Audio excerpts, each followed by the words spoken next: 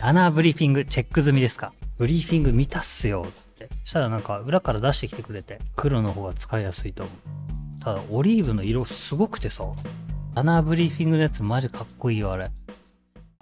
アナーブリーフィングチェック済みですか？購入もやってました。チェックしました。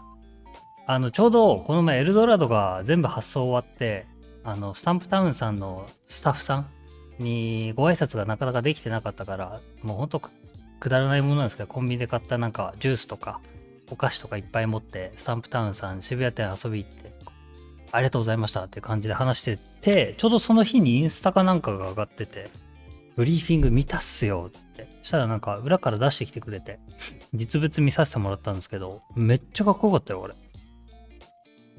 めっちゃかっこよかったよ。ちなみにあの、オリーブ。黒のね、ヌバックもいいけど、黒はやっぱ持ってるっていうのがあって、僕は引きずられちゃってる部分があって、オリーブの方が気になったんだけど、多分黒のダナーのあの、形持ってないんだったら、黒の方が使いやすいと思う。ただ、オリーブの色すごくてさ、めっちゃ良かった。てか、ダナーブリーフィングのやつマジかっこいいよ、あれ。オリーブ狙いっすね。なんか、この前スタンプタウンにそれで行ったって話したじゃん、さっき。スタッフさんにさ、なんか去年川島さんがダナーの売り上げを上げすぎたせいで、今年、なんか、な売り上げが、目標がなんちゃら、つって。言われたんだけど、俺関係ないっつっつって。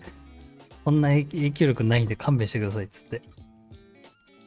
おもろいよね、スタンプタウンのスタッフさん。